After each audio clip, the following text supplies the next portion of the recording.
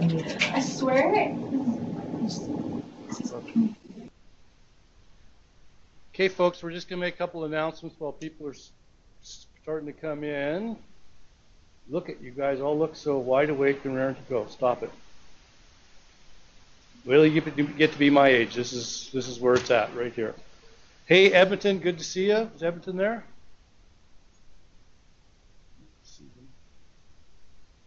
Hub is there, and we got the foothills. Great to see all you guys.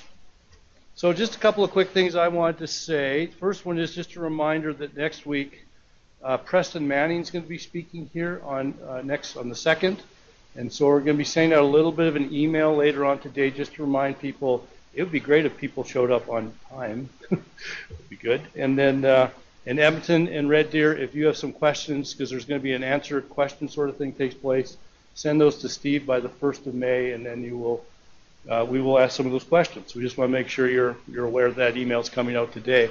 And now my good friend, my buddy Bertha, is going to make an announcement from the shelter. Hey guys, how's it going? I hope I can be heard.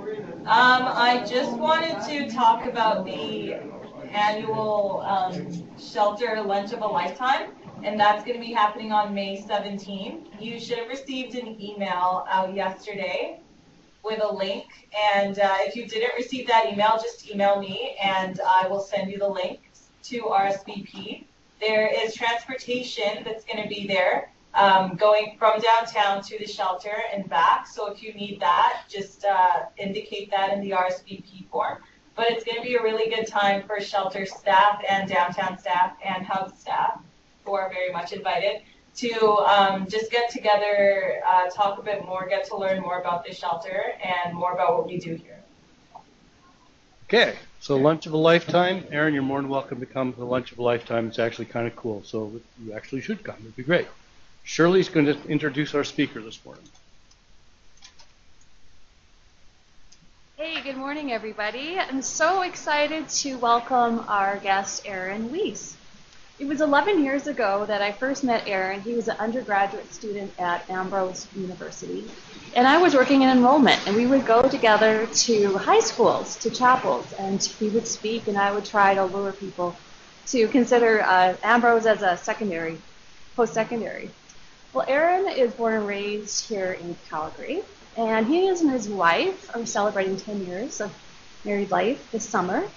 And incidentally, Rachel, his wife, um, she did a practicum here with um, Demo uh, when she was a student at Ambrose. So that was kind of cool to find out. They have two beautiful twin daughters who are starting kindergarten in the fall. And since Aaron was 15, he really felt God directing him towards teaching and preaching.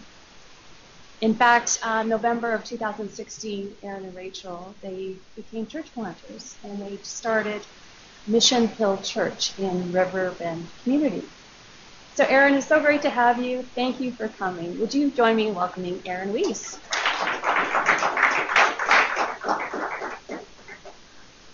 Well, good morning.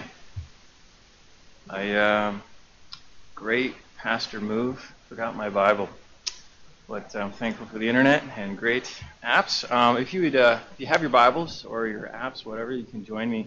Um, just want to read our text for this morning, and then we'll jump right in. It's actually John 21, verse 1 to 19 is our main text, but I'll only be reading uh, verses 15 to 19. It says this: When they had finished breakfast, Jesus said to Simon Peter. Simon, son of John, do you love me more than these? He said to him, Yes, Lord, you know that I love you. He said to him, Feed my lambs.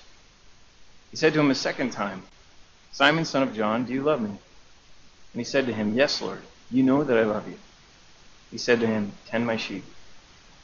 And he, sent, uh, he said to him the third time, Simon, son of John, do you love me? Peter was grieved because he said to him the third time, Do you love me? And he said to him, Lord, you know everything. You know that I love you. Jesus said to him, Feed my sheep. Truly, truly, I say to you, when you were young, you used to dress yourself and walk wherever you wanted. But when you are old, you will stretch out your hand, and another will dress you and carry you where you do not want to go. This is this he said to show by what kind of death he, would, he was to glorify God. And after saying these things, he said to him, Follow me. Um, recognizing that this is the closest to like multi-campus I've ever preached um, as a church planter. So I'm going to try and stay put. I'm usually a bit of a walker. Um, but one of the reasons I wanted to share with you this morning is uh, had a tour of the facility and, and, kind of an update of the ministries and the, the, outreach that you do at Mustard Seed. And had an awesome opportunity to hear from Shirley uh, just what impact you're having in the city. And, and I was thinking on that as I was preparing for this morning. And it's amazing the, the way in which our failures, the way in which our regrets, the way in which our, our hurts just kind of carry on with us. In fact, they, they have consequences, they have history, they have stigma. What I, what I mean by that is they have a way of carrying forward injuries that we don't want to keep, but they are the scars that kind of form us and, and are formative to how we react and how we face the world. That's not just physical things. You can see that in somebody if they're anxious or if they're nervous or if they're shy. Uh, that also speaks to a history, things that, that plague us and come back, almost like flashbacks, things that you would say, I wish I could get that moment back. And then there's always the stigma of being labeled either by ourselves or by others. You're that guy, or you're that girl who did that or experienced this. And this story that we that we looked at this morning, it's the follow-up. It's it's actually the recommissioning. It's um, Jesus, the resurrected Jesus, appearing for the third time to his disciples, appearing to Peter, and having a one-on-one, an in-camera session to speak to him. Um, as most scholars would say, it's it's kind of a, a very obvious, direct link to the fact that Peter denied him three times. In fact, historically, when we look at Scripture, we, we think of the betrayer of Jesus as Judas. And, and, undoubtedly that's true. This, this guy, it couldn't be more intimate, it can be more icy cold betrayal than to say, I'll betray you with a kiss. Takes uh, soldiers to Jesus' presence and says, the one I kiss, that's the one you should arrest, and goes and does that. And we see historically that's the betrayer. But on in that event, in that storyline, there's actually two men who are in Jesus' inner circle.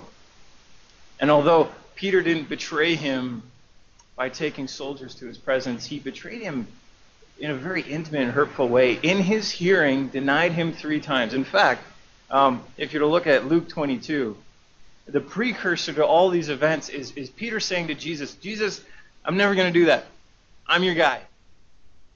You know, prison or death throw me in jail, take my life. I'll never deny you. And Jesus says, before the rooster crows, that, that's just a way of saying, in short order, before the, before the next day is really in full swing, you're going to deny me three times. And of course, as we follow the story, we see that happens. And Jesus is hearing Peter denies him three times. In fact, in, in the Gospel of John, there's an interaction where a man who is a relative of the man who Peter cut off his ear. If you don't know the story, um, soldiers appear in the garden.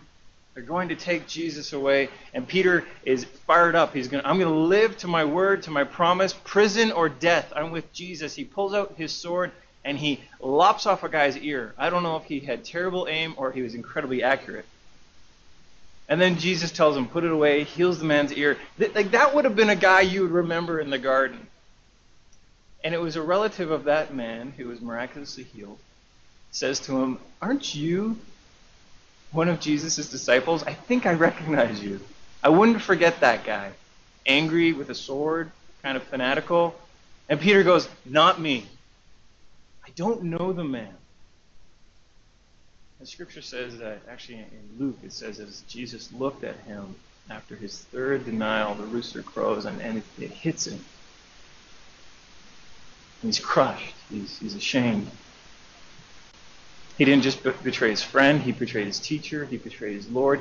One of the only disciples we see previous to Jesus' death and resurrection makes a statement of faith saying, You are Lord, you are the Christ. Essentially turns his back and says, I don't know you. That's not the kind of thing you, you get past quickly. That's a wound, that's a stigma, that's a history, that's a scar, that has consequences that carry on for a long time. In fact, if you were to look at 1 Corinthians 15, we, we're given the impression that Jesus actually appears to Peter, resurrected, and they have a private session that we don't even get much about in, in Scripture, that he needed that kind of restoring to take place. And I started thinking about this story specifically as I, I had a t- uh, tour with Shirley, and you made a comment. I'm, I'm going to paraphrase. I'm not going to get it bang on, but uh, the mustard seed is known for giving many second chances. Am I saying that right, or good enough? And I love that because I just thought, how many times do I need a second chance? How many times do I fail? How many times do I stumble? How many times do I look at my history? If I were to, I'm a very introspective person, which is deadly. Because I can look back at my past and thumb through the, the, the history of my life, and I spend more time grieving myself than I, than I do celebrating what Jesus has done. And how powerful it is that Peter, if you're to read earlier, verse uh, 1 all the way through 19, we see that Jesus has already appeared to his disciples resurrected. I mean, that's good news. The one you betrayed, he's not dead, he's alive. But Peter's still not over it. This is me uh, speculating in the text a little bit, but I, I think Peter is still really down in the dumps. He's really struggling because he says to the disciples, I'm going to go fishing. He probably feels demoted. I was the leader here or, or one of the guys who had influence, and now I feel like I, just don't qualify.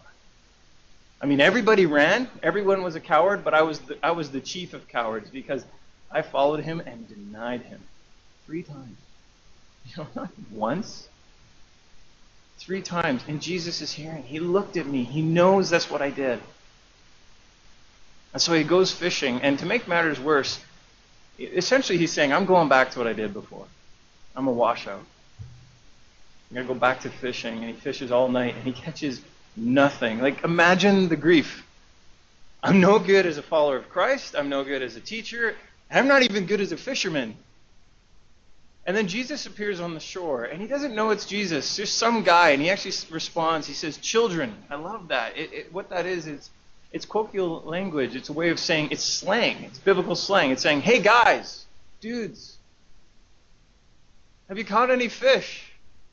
This is just some guy on the beach, and they're like, "Well, no, we're professional fishermen, but we're not very good. Try the other side of the boat." and they get a, a, a, catch of fish that they can barely carry. And then one of the disciples says, That's Jesus. He's mirror imaging the exact events that took place when he called Peter into ministry. And this is, this is how you know that this is a historical account. This isn't just somebody remembering this. It says that Peter put on his cloak and he dove into the water and went. Like, who gets dressed before they take a swim? Peter's so excited. He's like, Guys, you deal with the fish. I need to see Jesus and he swims to Jesus. He runs to Jesus. And they have breakfast on the beach, and then they have this in camera session. And I don't know if Jesus says, hey guys, Peter and I have to have a one on one, or if they just knew it's time for us to depart. But I, I imagine them going, you're in trouble. And then Jesus asks him, do you love me? That, that has beautiful intimacy on one hand. Because I'm sure that's the question he wanted Jesus to ask. I messed up, but Lord, I love you. And also has a sting to it. Do you need to ask me? Don't you know my heart? I know I've messed up, but do you need to ask me? And three times he says, Do you love me? And it says in the third response, he says, He was grieved. He's like, Lord, I know that I love you. Many scholars would say, Three questions for three denials. I, I I think that's a good assumption, but I think this is more just for Peter's heart. That you would know beyond the shadow of a doubt, this is behind us, Peter. I'm just going to ask you three times. And my response is going to be the same feed my sheep, take care of my sheep. What he's speaking to metaphorically, he's saying, love my church. You know what it is to be wounded. Now take care of my church. See, I, I love this. Because what, what I, if I could just simply say what I want to say to you this morning, it's the value of our failures, you know, the importance of our mistakes. Um, I'm, it was said already that, that I'm a church planter. We're two years into our church plant, and I'm learning that uh, if you want to meet beat up people in ministry, go talk to church planters. It's hard. I haven't experienced more uh, hardship in my life than these last two years, and I haven't had to press more deeply into a walk with Christ than ever before. And, and I honestly went into this thinking this is going to be fun, and has been completely the opposite. It has been hard. It has been grueling, but we have seen the Lord's faithfulness, and what I've discovered is this: He is made glorified. He's strong. He is uh, able, and He is sufficient in my weakness what we're learning, what we're pressing into is let's just be weak because Jesus shows up really strong. We need to have a heart, and I, I want to share this with two audiences in mind both to you as staff, both for your personal life, but also as you minister to others, and then to encourage those who might be residents or that you're ministering to through the mustard seed because it's an incredible message to say to somebody who's uh, rebounding from or just fresh from a mistake, a failure, a hardship, a wound. To say something of encouragement because really the reality is this.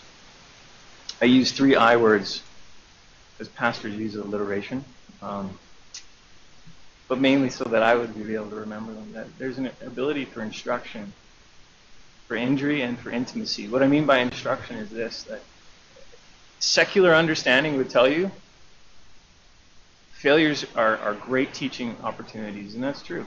You probably lose, or sorry, you probably learn more through losing games than you do by winning them. But the gospel takes that a step further. It's not just instruction on how to be better, play better, do better. This is instruction to realize you're not good enough. You need Jesus. This is an instruction so that you can move forward. This is Jesus is sitting down with Peter going, Are you going to do this your way again? I think not. Notice at the end he says, When you are a child, you dressed yourself, but when you're an adult, others are going to dress you. That's backwards. I have twin girls, they're five. If I let them dress themselves, they will be princesses every day. And that, that's cute for a while, but after a while, their, their, their little you know, Disney costumes get stained and gross. You know, I need to dress them. I need to take care of them. I need to help them. As an adult, I'm, I'm trusting they're going to be okay. Jesus flips that around to say, when you were immature, when you lacked instruction, you did your own thing, and this is where it gets you. Now that you have grown, you know who to rely on, you know who to ask, you know who to lean on, you know who to press into. That's me. See, it's also for our injury. You might not like that word, but see, our scars serve more than just a way of saying, I'm not going to do that anymore. You know, burn your hand on a hot stove. You'll, you'll learn not to do that again. It's, it's deeper than that. It demonstrates that you need somebody to heal you because you have wounds and scars you can't carry uh, or you can't fix on your own. And it's just so deeper than physical. This is emotional. This is spiritual. This is relational. Broken relationships and emotional scars take years to heal, and they need a Savior. You can't fix that yourself. You need Jesus. One of the reasons that uh, I began speaking uh, at Ambrose University. Uh, I think part of the relationship that I started with, with Shirley was I was speaking to youth uh, ministries from my own personal experience as a, a young person who struggled with uh, an eating disorder, self-image issues, and an addiction to exercise. You might think that's a good addiction, but it can actually be bad. And I shared that with many students around this city and actually uh, through that experience, just got to see how, wow, there's not just myself who struggles with this, but many students. But what I learned through that process was I didn't know where to point these kids. They would come to me and say things like, How did you get out of this? How did, how did you find healing? How are you processing? And it was really empty unless I just said, You need to go to Jesus. He's the only healer, He's the good shepherd. See, these scars, these are not war wounds of pride. These are ways of saying, I've been healed. I, I can get through this only through Him. In addition, it's intimacy. I love the picture uh, of this interaction that Jesus has with Peter. They sit down, they have this meal, and they say, We need to talk. And he's not only speaking love and, and, and kindness and forgiveness into his life, he, he's actually speaking a reaffirmation and reconfirmation of ministry. Feed my sheep. Take care of my lambs. The, the picture is this you're not qualified because you're really good, Peter. You're qualified because I called you. And I'm going to use this experience to do something really good in your life. In fact, one of the things that we reject or, or, we shy away from, yet I would encourage the church to begin embracing more and more, is that it's Romans 8. That the Lord uses all things for the good for those who are called according to his purpose. That, that God is big enough to orchestrate beautiful things through really garbage and, and horrible situations. Peter, I'm, I'm calling you into ministry. I want you to take care of my sheep. I want you to take care of the church. And guess who's going to bite the most? Sheep. I can say that because I'm I'm under shepherd in the church. They're unruly. They're going to hurt you. That's okay. They hurt me. They hung me on a cross. I love them. I died for them. You need to have that passion in your life, in your ministry. See, um, I want to close with this thought. As an encouragement to you, uh, as well as an encouragement to anyone who would be ministering to. This is actually Genesis 50, verse 20. This is actually Joseph who's speaking. He's speaking to his brothers who had sold him into slavery. He went from a horrible situation to a worse situation to a worse situation until finally, through the most dark situation that he could find himself, um, God elevates him to vice regent, to prime minister, second in all of Egypt. You know the story. And after a long series of events, his brothers who uh, sold him and betrayed him. By the way, the mistake that he made, he is a cocky brother. He bragged to his siblings. I mean, that kind of thing, you deserve a bloody nose, a couple noogies, and a wedgie. You don't deserve to be sold into slavery. You don't deserve a life of servitude in a foreign country. You don't deserve to be, you know, uh, accused of crimes you've never committed. And yet there he is. And at the end of all that, he's got a moment where he could take his revenge.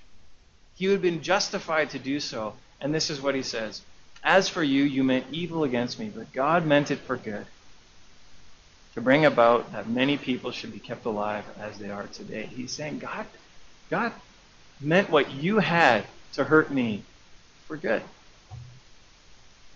He saw these mistakes, he saw these failures, he saw every consequence of this, and he had a plan to, to do something incredible. That's not just an encouragement for you. I don't know the stories in this room. That's an encouragement for everyone you speak your just healing words into. Say, hey, you know what? Somebody might have meant this for evil. God meant this for good. I actually love what Jesus says to Peter in, in the foreshadow of this uh, interaction. It says that Satan, this is, uh, sorry, Luke 22, verse 31, says, Satan demanded to have you, that he might sift you like wheat. But I have prayed for you, that your faith may not fail. And when you have turned again, strengthen your brothers. Notice, like, Jesus is like, I know how this is going to play out. But you need to walk through some really hard stuff right now. You notice he's saying, Satan wants to destroy you. Prayed for you when you have turned again. It's almost like you're going to go through a valley here, but when you're on the other side, I'm going to use you. You're going to do incredible things. And not through your strength, but because you're going to get educated through your injury and through the intimacy of growing in a, a relationship with me that you'll understand how to do ministry right. I hope that's an encouragement for you. Let me pray for you, and then I'll, I'll hand this back over. Heavenly Father, I just I ask just your blessing over the mustard seed, the ministries that are throughout the city and uh, Edmonton as well, Lord. I pray for the staff, the many ways in which they impact lives. They speak comfort and encouragement. they offer helps, then Lord, at time admonishment to correct things because at, at times we get stuck. We need more than just a gentle word. We need a, a nudge in the right direction. Lord, I just pray that you would give me great courage, wisdom, love, the fullness of the Holy Spirit to do that. I ask that Jesus, your name would be elevated. And, and Lord, as we put down our flags to raise up the flag of Jesus, I pray that you would honor that and you would bless that, Lord, that, that you have greater increase, not for our fame or glory, but for yours. I pray, Jesus, that there would be greater boldness in our hearts to give over to you the wounds that we have that maybe we're trying to fix ourselves. To not embrace as, as to be proud, but to embrace as to accept what you are teaching us through our hurts and our heartache. They don't mark us as broken men and women. They mark us as men and women who need a Savior. That, that we would draw in a deeper intimacy with you. So I just pray these things over everyone in their hearing and to encourage us in our lives this morning. In Jesus' name. Amen.